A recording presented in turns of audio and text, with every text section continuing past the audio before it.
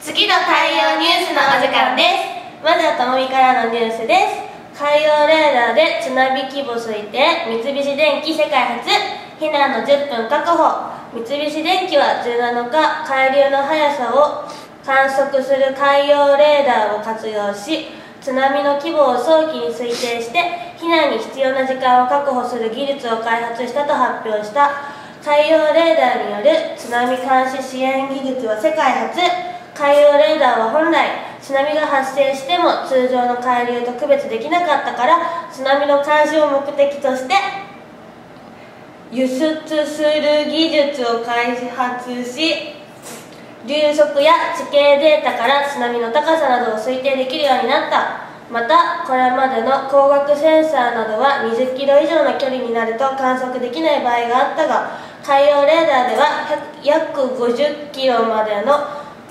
沖合を観測可能であるという沖合50キロで感知できた津波は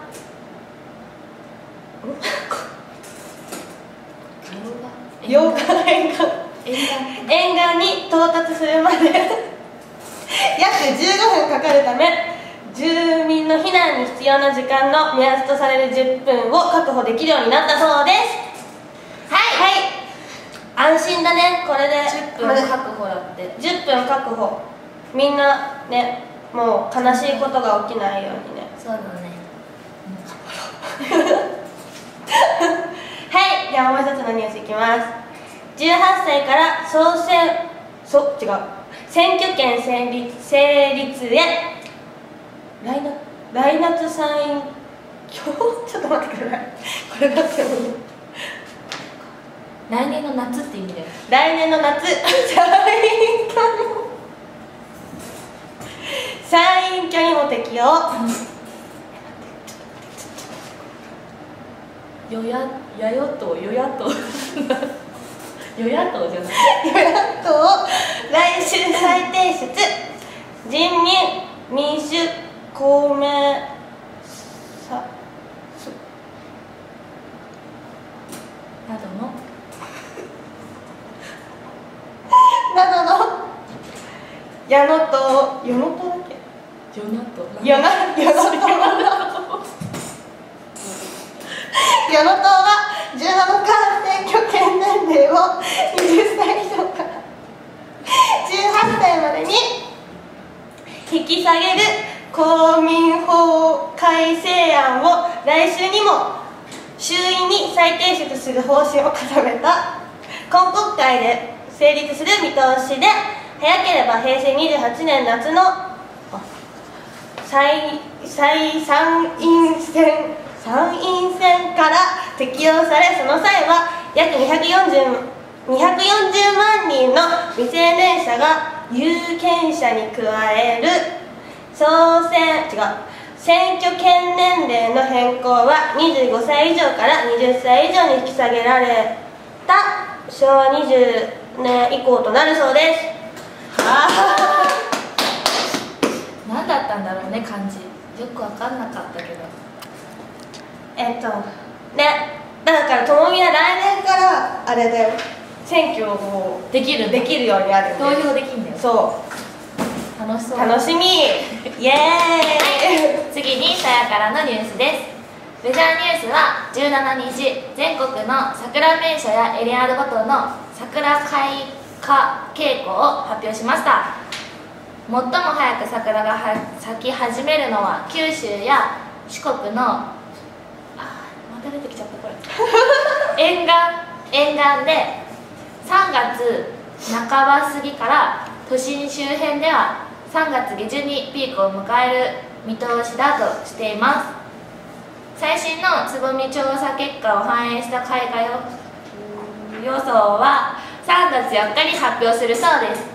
全国じゃなくて東京のも主な名所の上野公園の桜の咲き始めは3月24日とやや早めとなっているそうです。はい花見。花見したいねメンバー全員と。私花見したことないんだよね。花見桜見。幼稚園生ぐらいの時にやった。花見しよう。みんなで花見。花見しよう。はい。よしはい次のニュースに行きたいと思います。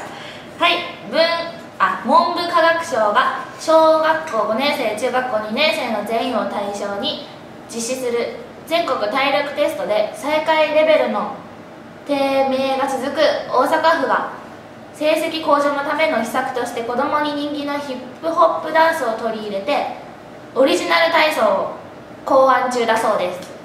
国際大会で優勝経験がある高校のダンス部も協力しており春には動画をインターネットで公開するそうです。と運動習慣に関する調査では運動好きな子どもの割合が全国の平均より低く運動時間が少ない傾向が浮かび上がり子どもに人気のあるダンスであれば楽しみながら運動習慣が身につくとしてオリジナル体操作りに乗り出したとそうです。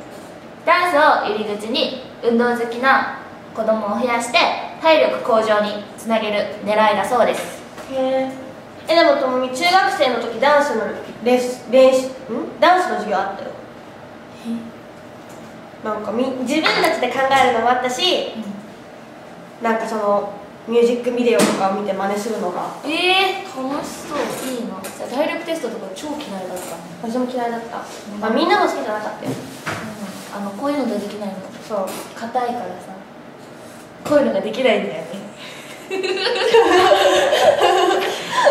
緊急ニュースが来ました。はい。あそうだ。えっと私たち3月4日にミニアルバム「2014」を発売することが決定しました。はい。そして3月7日に新宿バースでと夏美なーたんの生誕さやかさやねの生誕が行われます。そして3月16日レッドノーズさんで月と太陽1周年記念のイベントがあります。イエーイ。よかったら皆さん来てください。よろしくお願いよろしくおします願いします。はい。以上月と太陽ニュースでした。バイバイ。あありがとう。バイバイ。バイバイ。